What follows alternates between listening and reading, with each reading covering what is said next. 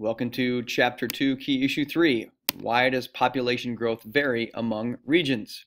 Why do certain regions grow and others don't? Well, in order to discover that, we're going to look at the demographic transition model. The demographic transition is the process in change of a society's population from where we're seeing a lot of people being born, a lot of people dying, and not very much growth overall, to not very many people are being born, not very many people are dying, and we're still not seeing very many people growing in population because we already have a high population because we've gone through the four stages.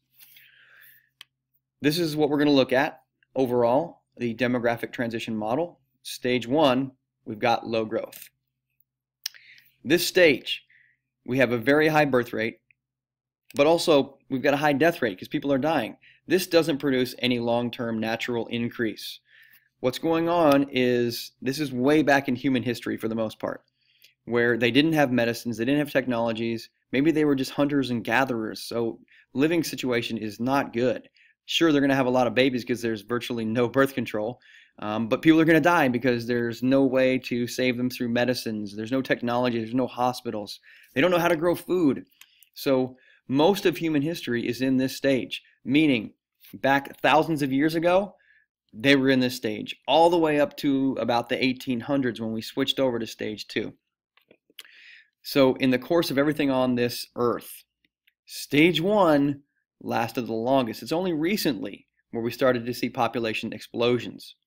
No country currently is in stage one because we've all moved to stage two. We've experienced population growth in every single country. Stage two, this is where we have rapidly declining death rates and very high birth rates, which creates a very high natural increase rate.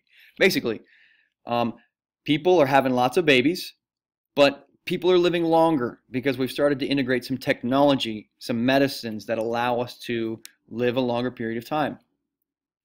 Europe and North America entered stage two after 1750 because of the Industrial Revolution.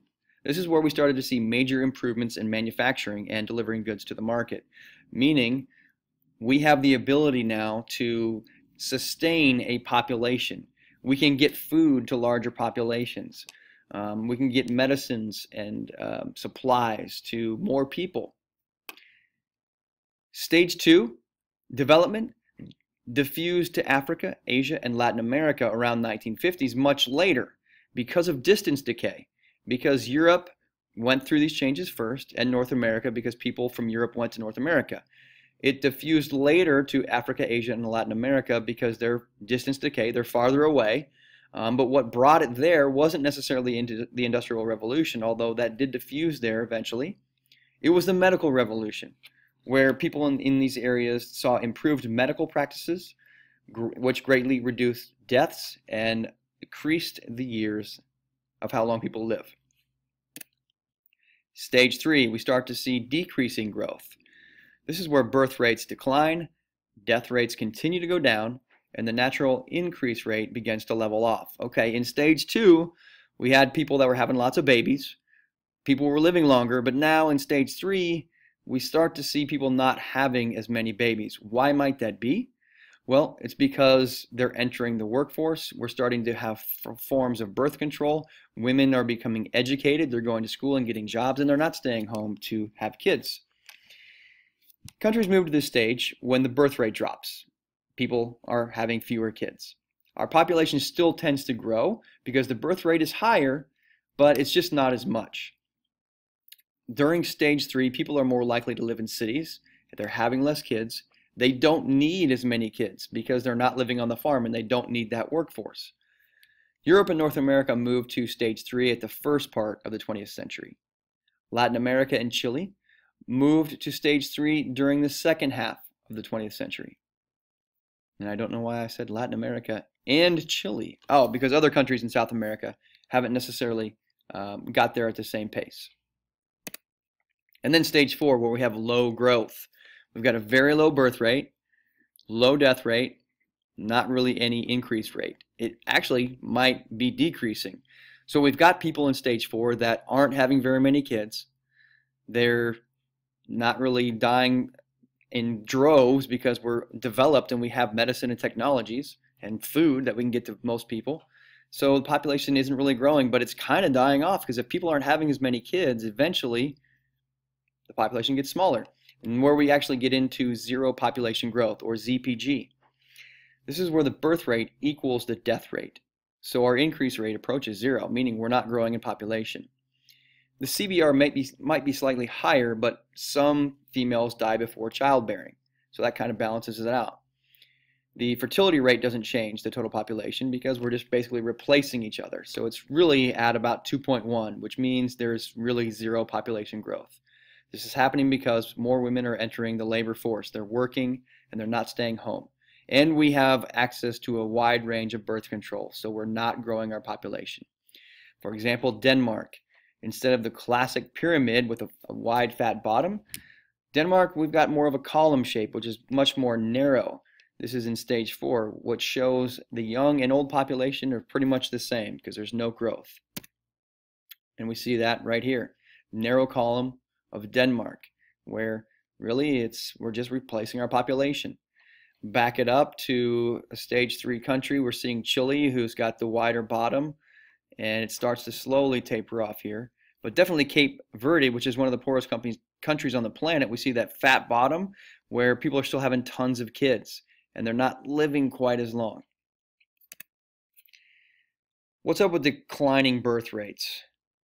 Well, this occurs for a couple of reasons. Number one, it occurs through education if you're in sub-Saharan Africa, there's not a lot of schools.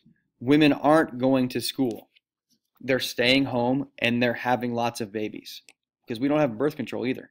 So because of these two reasons, contraception contraception meaning birth control, we don't have ways to stop us from having babies and we're not going to school. Um, so in these areas where we don't have schools and we don't have contraception, we're going to have a lot of kids as opposed to the United States, where equally, for the most part, we've got women going to school and getting jobs, and we've got available lots of forms of birth control. Thomas Malthus, speaking of overpopulation, he said in, in 1798 that population growth would overrun the food supply, meaning we're going to have too many people and we're not going to be able to feed them. He claimed that population increases geometrically and the food supply increases arithmetically. So as we increase across the globe, food supply would only increase in number. There's people that agreed with him. They're called neo-Malthusians. They agree, they agree with Malthus, but think the situation is actually worse because we have so much more population in, in the recent years. They've seen population grow exponentially, and they, they say there's no way we can grow food for all these people. Now all countries have been in stage two, where they've experienced lots of this growth and we have lots of technology, meaning people are living longer. So there's no way we can keep up. They see the world population growth is actually reducing resources, not just food population. And that's why it's worse, because it's not just food, it's uh, oxygen in the air as we dump uh, chlorofluorocarbons in and, and um, forms of petroleum that are dispersed in the air. We're cutting down the rainforest. We're reducing our oxygen levels. We're using up the available fresh water. So neo-Malthusians, they're worried about food and every other resource. But then there's also critics to Thomas Malthus. They consider that resources are expanding. Well, perhaps we're going to run out of oil. Well, critics say then the earth is always making more oil. Maybe not as fast, but we're still going to find more. They also say that the larger population is not something to be afraid of. It's something that actually stimulates the ability to grow more food. Because if you have one farmer, he can only grow a certain amount of food. But if you have 10 farmers, they can grow more food. So what we need to do is just share our resources. So Thomas Malthus, that's pretty big in, in geography because he stated something that was to, to be a big concern for everyone on this earth. But there's a debate on how we've reached this um, equilibrium on how we can provide food for everyone. Some people say, you know, we've got to find a solution to all this huge population. Other people say, well, we kind of have fixed it. We, we, we're using genetically modified crops. Um, we're using pesti pesticides and herbicides and fertilizers that help us to grow more and different cultivating techniques to grow the food.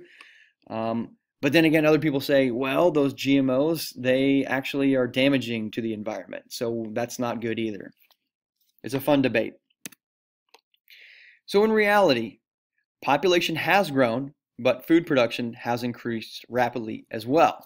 Yes, people were worried about running out of food, but apparently we have the means to grow it.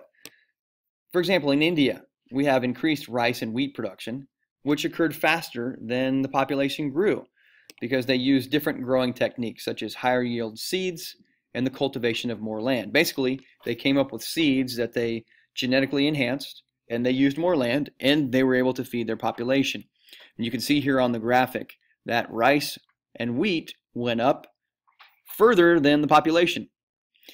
Um, so the only concern would be are genetically modified crops good or do they do more damage down the line? We look at Japan, another example. In 2010, Japan had 127 million.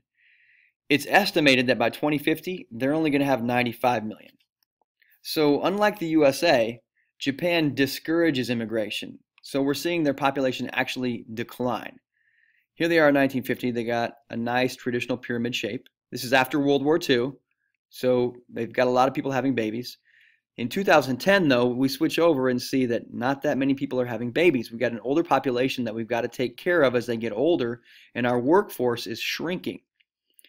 This is projected here because Japan's like, okay, we're not letting any different people come in. We don't want immigration. So our population, younger years, is going to be very small. How are they going to take care of this aging population? That's a concern. As we look to the future, the demographic transition, we might see a possible stage five where we've gone beyond stage four, which is very low growth, to an actual decline in population. Because if we have continued low birth rate, our older population begins to increase as they die. So it's actually going to start being negative. And when we look at countries like Russia, you're actually seeing a negative increase rate.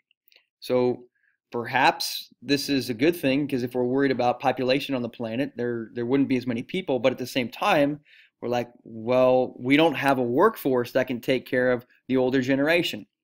Another concern there. China and India. These are the world's two most populous countries. You put them together and they add up one third of the total population over all the earth. India, after 1947, this is after World War II, this is after uh, the British Empire has left and they gained their independence, they start rapid growth. Um, so they had so many people having babies there that they rapidly became overpopulated. So in 1952, they began a national family planning program where they utilized things such as birth control, abortions, and sterilizations. And of course, there's controversy with these last two here. But these are things that they have done to control what's going on because they are the second most populated country and the most populated is China. In 1980, they instigated the one child policy, which prohibits marriage in people that are in their early 20s. They say they need to have a permit to have children, and they hand out freely contraceptives, which is birth control. They have free abortions and sterilizations. Again, their rationalization is that population is so large and people are having so many babies that they've got to come up with any means of taking care of that. Again, there's controversy with that.